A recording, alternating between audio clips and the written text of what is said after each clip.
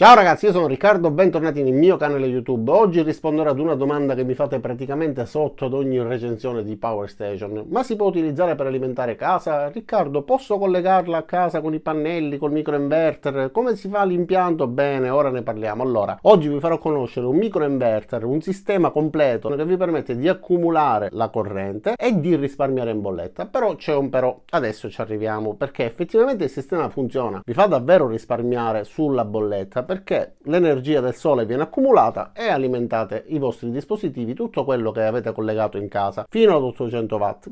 Però c'è un però.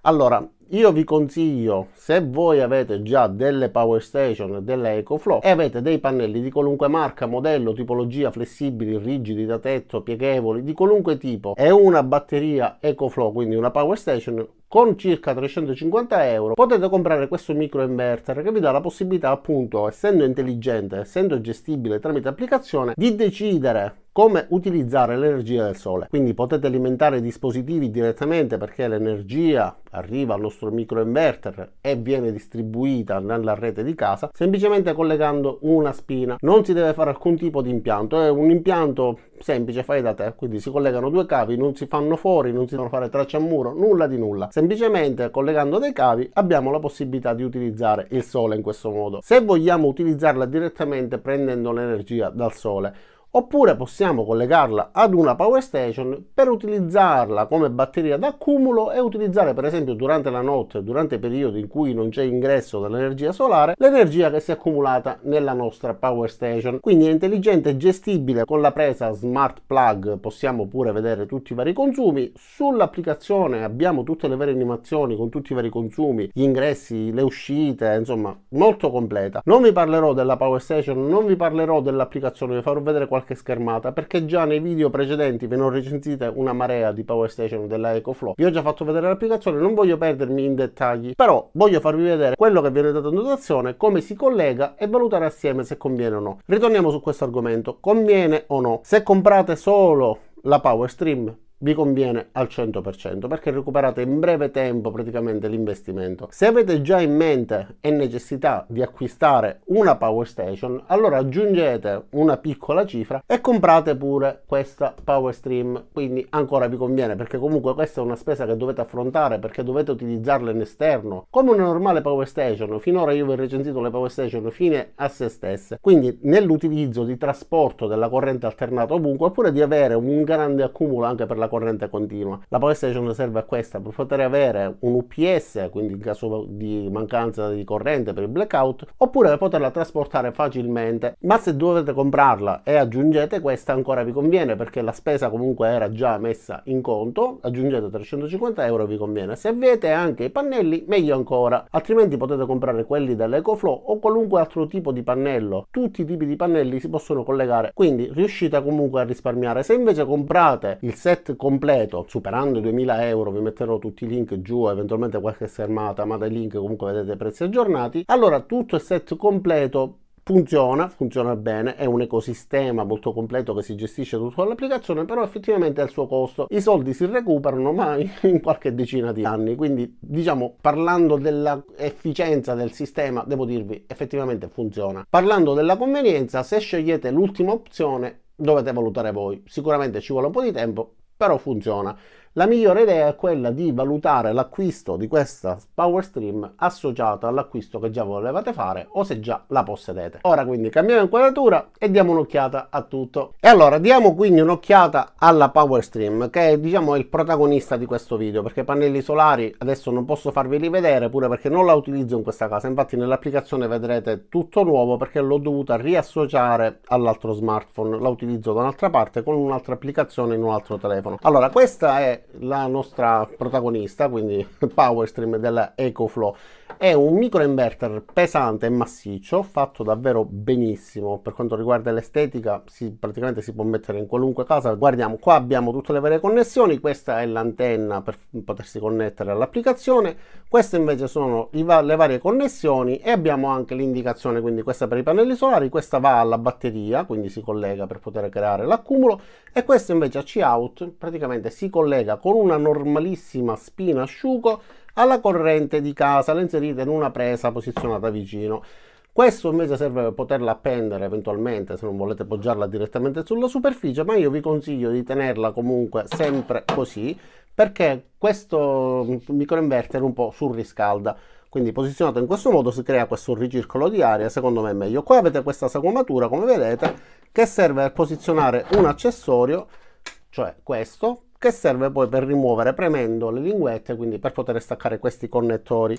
Allora, a proposito dei connettori, per i pannelli solari potete collegarne ben due, infatti qua abbiamo questi connettori MC4 e qua c'è scritto connettore con pannello solare fotovoltaico 2, fotovoltaico 1. Andiamo avanti e vediamo, da questa parte abbiamo l'altra connessione, ve lo faccio vedere girandolo così potete capire meglio come funziona. E allora questo quindi è il cavo e considerate che per ogni cavo abbiamo una sagomatura sia da questa parte che da quest'altra parte che ci impedisce di sbagliare polarità, quindi si può inserire solo in un verso. Come vedete questa sagomatura ci obbliga ad inserirlo solo in un modo.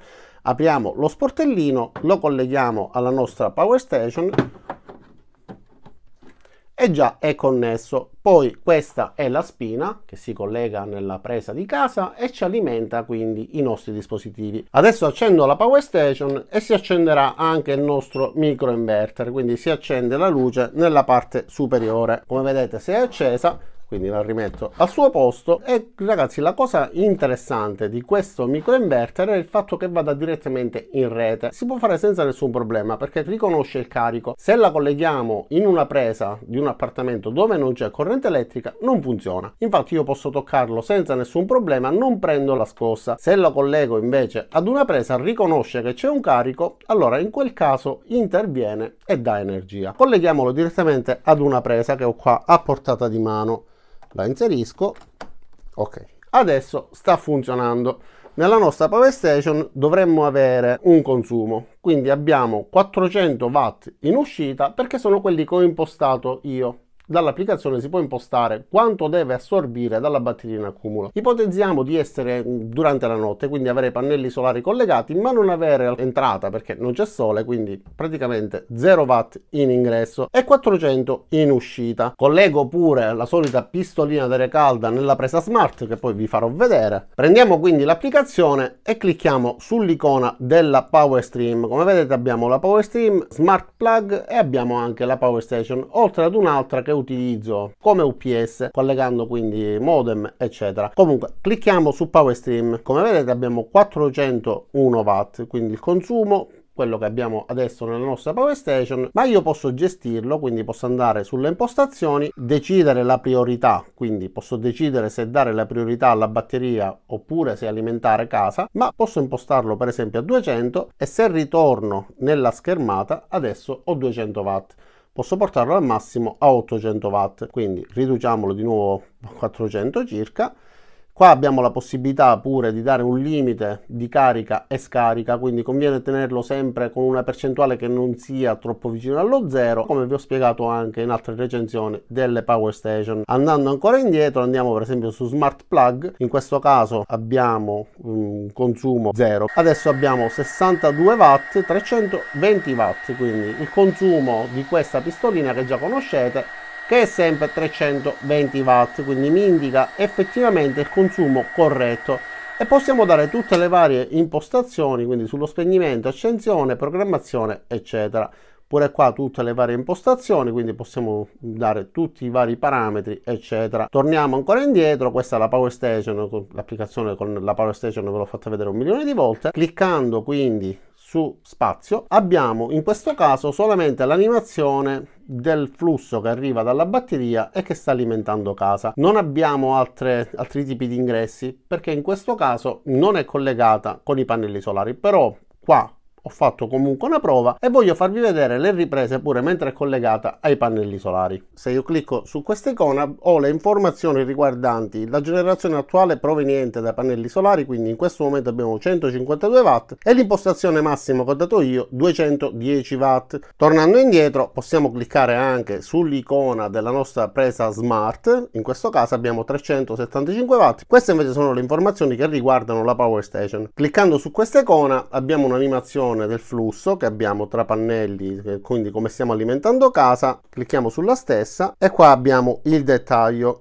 Quindi tutte le varie informazioni con questa animazione molto simpatica che ci fa capire tutti i vari flussi, quindi 152 watt che arrivano dai pannelli solari e quindi sto utilizzando questo sistema per alimentare casa mia però possiamo anche cambiare queste impostazioni 400 watt. Adesso come vedete abbiamo 400 watt anziché i 200 watt di prima se clicchiamo quindi da questa parte come vedete adesso abbiamo 253 watt provenienti dalla power station e 149 watt provenienti dai pannelli solari che vanno ad accumularsi quindi nella nostra power stream e forniscono corrente in casa. Abbiamo anche altre informazioni, quindi in questo momento stiamo ricevendo 400 watt dal nostro sistema e 380 watt dalla rete elettrica e anche in questo caso abbiamo una bella animazione che rende chiarissimo quello che sta accadendo con questo sistema installato. Adesso diamo un'occhiata a questa smart plug, devo staccarla dall'alimentazione elettrica ovviamente, quindi non vedrete il led illuminato, ma questo, questo tastino ha un led di colore verde, va premuto per poterlo connettere, spegnere, accendere, eccetera, e grazie a questa presa possiamo avere un ulteriore dispositivo intelligente che comunica con l'applicazione per i consumi e tanto altro questa è la scatolina e ragazzi per quanto riguarda l'estetica EcoFlow ci tiene davvero tantissimo. Ha un packaging veramente invidiabile il materiale contenuti ovviamente sapete sono di alta qualità.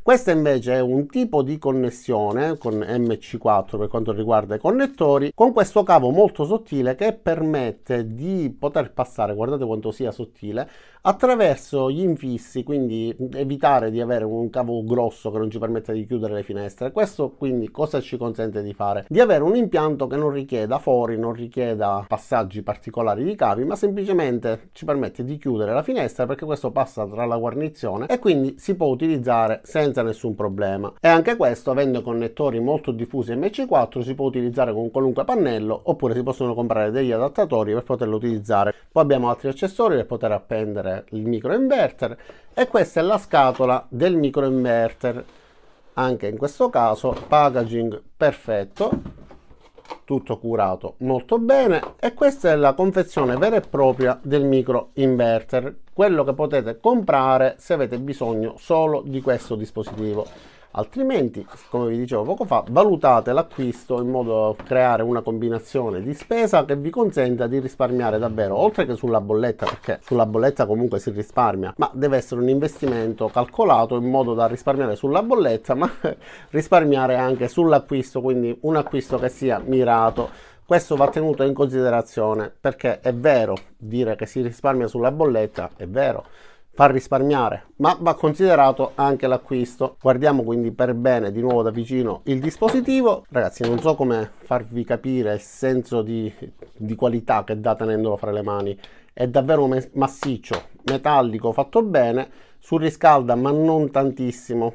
Mm, ci sono dei momenti in cui surriscalda un po' di più in base a quanto lavora però non è assolutamente così caldo. Per quanto riguarda i pannelli solari che ho io, allora non ve li faccio vedere perché ho creato un accroco con dei pannelli da giardino messo in un balcone che non utilizzo in modo sicuro verso l'interno, quindi poggiati su una parete, ma è un balcone inutilizzato, ma quello che noi interessa è il protagonista di questo sistema dato che come vi ho già detto poco fa secondo me va acquistato in combinazione di un acquisto già preventivato o in caso di presenza già all'interno di casa vostra di una power station di questo tipo che vi serva per utilizzarla sia fuori che all'interno allora può essere un'ottima idea. Quindi il protagonista è la power stream della EcoFlow i pannelli sono comunque importanti ovviamente l'azienda vi mette a disposizione la possibilità di acquistarli da loro e la possibilità se non l'avete di acquistare la Power Station. Ma questa Power Steam funziona anche non collegata all'accumulo e quindi semplicemente con i pannelli alimentando direttamente casa